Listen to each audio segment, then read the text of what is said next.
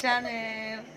Ayan guys, kakanta yung anak ko ng Ikaw ang binibini na ninanais ko. Ikaw.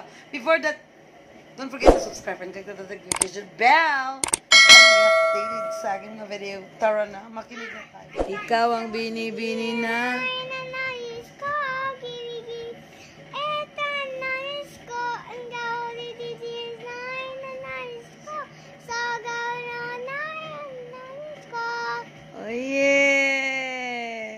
O, di ba hindi ko naintindihan yon?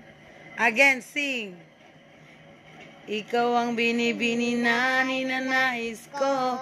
Bining marikit na dalangin ko. Ang gauli disis na nais ko. Sa gawin na nais ko. Oh, di ba? Nagcha-Chinese siya. Hindi ko rin yun, yun yung aking anak na maliit. Hindi pa niya kasi makabisado yung lyrics. So, see you on next video.